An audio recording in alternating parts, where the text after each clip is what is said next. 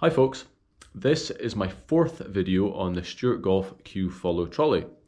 Now if you haven't seen the previous three, I would suggest you go back and watch them because they all run in order and this is a continuation of the third one. If you can't be bothered doing that, I'll tell you that at the end of the last one, I'd done two rounds on a single charge of my home course and I was away to try a third, which is what I do next.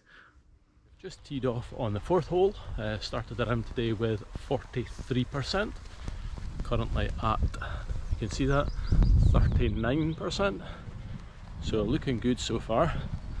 The positive of doing this on my own course is the last, well the 16th hole is massively downhill, and the 17th and 18th are pretty flat, so if it does run out, my pushing won't be too bad. We'll see how we get on, I'll keep updating as I go. That's now 10 holes down. Um, all still fairly flat holes when we get into the slightly more hilly section of the course. However, still 29%. So looking hopeful so far. So I'm now up at the highest point of the course. We've just finished the 15th hole and starting to come down the hill on 16. Just checked the battery app. And I don't know if you can see that one, but we're now at 16% with a kind of red warning. Um, now I know the battery goes to 5% and then cuts off, um, but like I said, this is all downhill and flat from here on in. So hopefully I'm going to be safe, but I'll let you know at the end. That's 18 holes down successfully. Um, cart's still going. Just checking the app and 12%. Um, so in summary, I can get three full rounds at my home course just a way out to play today but before I do that I thought I'd show you this so this arrived in post um, last week. It's the ball holder for the Q series um, from Stewart Golf comes in a lovely packet much the same as a pack of golf balls. Uh, it holds two balls and maybe slightly over packaged for what it is. Looks nice though. Um, clips onto the, the two accessory points there so pop pop. And then you can just slot your balls in there and they are secured. Uh, the X series had three holes for holding balls on the handle built into it already and uh, one of them was potentially taken up with an umbrella holder if you chose to use it so you had two balls um, so that's something I've really missed on this, so hopefully this makes up for it. Um, balls ready for a reload when you hit them in the water. Uh, this cost £10. Something else I have on, I've had on the trolley since day one, again another accessory I bought.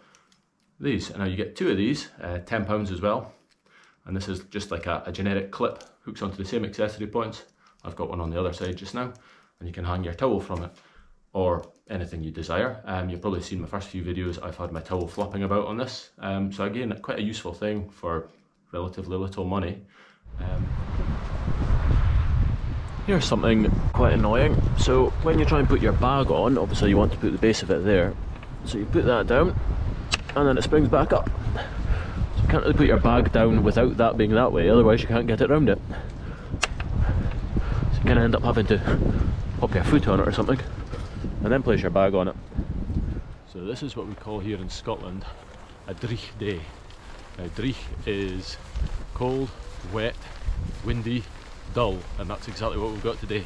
Proper miserable. Um, started off alright, full waterproofs on now. Um, sadly I don't have my umbrella with me because I don't have anywhere to put it because the umbrella holder for this trolley is continually out of stock. Uh, on the plus side I've got my water, fully waterproof bag um, so that will help keep everything in there dry. Um, as you can maybe see, the balls are still on the holder. Um, something that's kind of bothering me maybe, or something I'm slightly worried about, is when we do eventually get an umbrella holder, have a look here, it screws into here. Now, if these are that flexible, what's the umbrella holder going to be like um, with a bit of wind behind it. I've been walking along here seeing people playing with uh, power caddies and things with the umbrella holder continually attached to their buggy as they walk that's not something I would do. I would probably put it in just to hold it while I was playing my shot. But, I know, given the wind today, even with a dual canopy umbrella, I can't think how that structure would hold the umbrella going about without snapping. Um, look forward to getting one eventually and trying it out though. I did a little video at the end of the round yesterday um, when it was pouring rain. Uh, unfortunately it's cropped. But what I was basically saying was how dirty the trolley was. It was covered in grass, it was all wet and disgusting, and saying how good a benefit the bag would be um, putting the trolley in your car and what a mess it would be. So let's have a look inside the bag. Been sitting overnight, kind of drying off, and uh, yeah, it looks like it's it's going to be useful. Let's take this out. So the trolley's needing a good clean, but hopefully you can see in the bottom of there what's fallen off. It's like a little lawn in the bottom corner there if you can see that, hopefully. Um, yeah, uh, definitely a useful addition. I mean, handfuls of grass that would otherwise be all over the boot of my car, so that's good. Uh, to take the trolley outside and give it a wee brush before putting it back in, and obviously tip this out outside. Well worth the money, I'd say. I've uh, had the trolley out in the garden and given it a wee brush down with this uh, brush here that I use for the wheels on my bike and it's uh, taken the, the worst of the dirt off um, and the, the sand and grass and things. Um, it's looking pretty good to be honest. Uh, I used to take my X series out and uh, polish it every now and again because I'm quite sad and it had this painted finish that I was always scared would get scratched whereas this one has the kind of microcellular finish. It doesn't show scratches the same, so I shouldn't need to worry about that. Um, I will actually take the wheels off probably after another few rounds and give them a proper clean because they're the one bit you can't really get to very well with a brush. Um, but I'm not doing that every round. Uh, something a little concerning here, I don't know if you can see this, I'm kind of shining a torch on, hopefully you can. Uh, the wheel bearing has rust on it. Now, the rear stabiliser on this trolley has only done a few rounds, and that's its first one in the wet and it's got rust on it already after less than 24 hours. Uh, the one on the other side doesn't, um, so I'll keep an eye on that, see what happens. Something else I noticed while giving the trolley a brush down is that. Now that's a wee divot out of the carbon there and uh, when you look at folding the trolley down what pairs up with it is this sort of circular bit here so that's obviously digging into the trolley when it's folded up. So that's a bit disappointing. Again, I'll have to keep an eye on that because, like I say, I like to keep these things in, in good condition and that's kind of going to eat at me, to be honest. Bit sad, yeah, but hey ho. Um, yeah, we'll keep an eye on that and see what happens, see how it develops and if it gets worse. Right, little challenge here, see which one climbs better. We've got the Q follow and an X7 particularly steep hill here. The uh, Q follow managing no problem. You can see the rear wheels on the stabilizer hitting the ground, it's rolling along, it's helping it up the hill. No problem at all. Next up is the X7. It has a solid plate rather than a rear stabilizer. If you watch its wheels, you'll see them spinning out quite a lot as it tries to get traction. Uh, maybe the bag in this one's a wee bit lighter because it's really struggling to stay in a straight line. Um, maybe some of that driver error as well, but shows the difference how easy the Q made it up compared to the X7. Somebody's asked me how long does the battery take to charge? Now, in all honesty, I don't know the answer to that because generally I plug the battery in, uh, leave it overnight, and then disconnect it and plug it back into trolley so it's ready for my next shot. So to me, it charges overnight. That's the answer. Um, I'm finished my round just now and it's just on 50%. So what my way to do now is set up a video with a stopwatch, the battery plugged in and the app on in the background and you'll be able to see how quickly it charges. Hopefully everything's visible on screen here. 50% on the battery. Stopwatch, which I will start now as I plug this in. As I plug it in, you'll see the app will change to green. It's on power and we'll see how long that takes. Should be interesting to find out.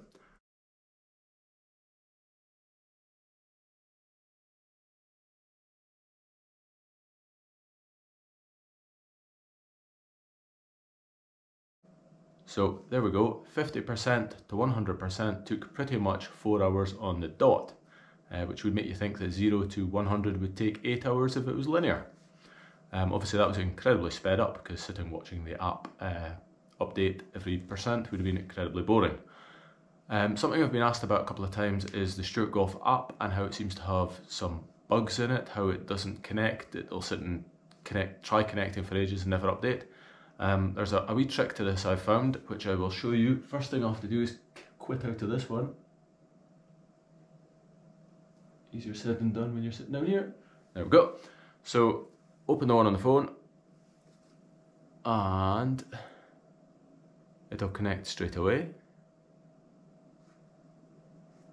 So when I've been out in the course and I've been wanting to check the battery percentage, I need to kill this app and then open it again.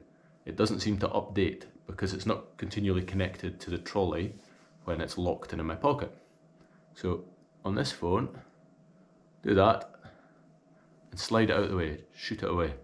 Um, if you've got the older iPhone with the button on it, double tap the button, puts you to that same screen and you can flick it out the way. Then the next time you open it,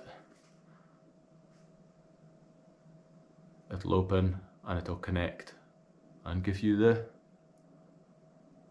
percentage after a, a minute. Something else to note, um, when you're charging your battery you don't actually need to use the app or anything to look at it. The charger, see that down here, the green light on it just now means it's 100% charged. If it's a red light obviously it's still in the middle of charging. So I'm two and a half months into ownership now and I've done 12 rounds with the trolley. Uh, under normal circumstances, I'd have probably done more than 12 rounds in that time. However, due to COVID and some really bad weather, it's kind of been a bit of a struggle to get out in the course. What I do feel like is now, after 12 rounds, that I'm in a very good position to give a full review of the trolley. Full, unbiased, unpaid, saying the good, the bad and the ugly. Um, I'm going to try and take it out in the course and do that there rather than uh, in the garage. And I'll try and do it on my own rather than affecting mine and my playing partner's games while I stop to take videos. Uh, you might be wondering why the wheel is off the trolley here. Uh, something I've noticed when I come to sit down here is look at the screws. The screws are all orange and rusty.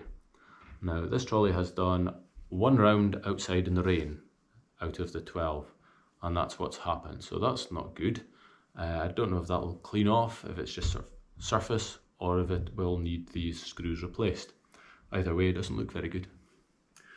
Um, once again, end of the video. Thanks to everybody that's watched. Thanks to everybody that's watched the previous three.